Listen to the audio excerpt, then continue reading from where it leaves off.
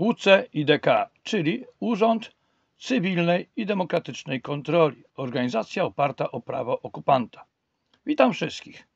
Jakiś czas temu miałem znajomych na Facebooku i V-Kontaktę sporo ludzi, którzy nagabywali mnie do przystąpienia do UCIDK, to jest Urzędu Cywilnej i Demokratycznej Kontroli, który założył Mirosław Józef Moskwa z Kielc. Rzecz jasna, wszystkich, którzy nie zrozumieli moich intencji, usunąłem z moich kont wymienionych dwóch serwisach. Przyczyna główna jest taka, że nie interesują mnie żadne organizacje oparte o prawo okupanta. UCIDK został założony w oparciu o konstytucję z roku 1997 i na nią się powołuje w swojej działalności. Mówiąc językiem polskim, żaden prawdziwy Polak do niej nie powinien należeć. O prezesie UCIDK Mirosławie Józefie Moskwa i innych. Kilka lat temu prezes zadzwonił do mnie, abym go wspierał, bo nosi takie same nazwisko i robi kawał dobrej roboty, etc. Moja żona słyszała rozmowę i kazała go pogonić i z nim nie rozmawiać, bo typ jest podejrzany.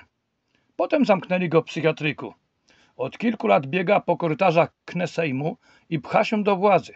Gada jak agent systemu, pseudoprezydent Cichocki z Piaseczna i jego sługa Chudek, niejaki zawodowy Polak, etc.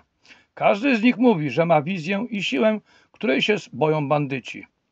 Bandyci nie boją się sterowanych organizacji. Bandyci się boją tych, którzy z nimi nie gadają. Niedobra o tym mówić. Z ostatniej chwili na stronie www.ucidk znalazłem taki wpis, cytuję. Urząd Cywilnej i Demokratycznej Kontroli UCIDK ogłasza nabór na stanowisko prokuratora generalnego. Ogłoszenie kierowane jest szczególnie do prawników. Koniec cytatu. Czytając takie sensacje, zaraz pojawia się pytanie: co to jest za urząd? Mnie już nic nie dziwi. W Polsce mamy już prezydentów bez liku. Jest nawet król i hrabia. Ciekawie mnie, jaki tytuł będzie nosił Mirosław Józef Moskwa. Mając na uwadze temat UCIDK jako jasny, zamykam. Mam nadzieję, że dotrze ta informacja do wszystkich, którzy potrafią myśleć samodzielnie i logicznie. Obudźcie się, nie dajcie się wodzić za nos w nieskończoność. Piotr Moskwa. Krytycznie na każdy temat. Szczecin, 21 październik 2024 rok.